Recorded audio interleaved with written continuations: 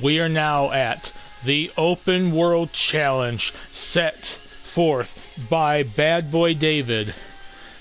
David set up this challenge back at Trust No One. He solidified when he came out in Detroit, came out to the Little Caesars Arena, and said he didn't care about fighting any of the wrestlers on the CKW roster at Kroga-Nanza. He was going to make history. He was going to make a statement. He opened up a challenge to the whole damn wrestling world that whoever answers his challenge will come out and face him at Kroga-Nanza 2 because he wants to put on a spectacle and show off to the rest of the roster just how good he is and where he's come from these last like set, you know, six or seven years holding the TPW International Championship, coming to this company, teaming up with Billy DeVoe, running with the tag titles. He just wants to show off and prove he is the top dog here.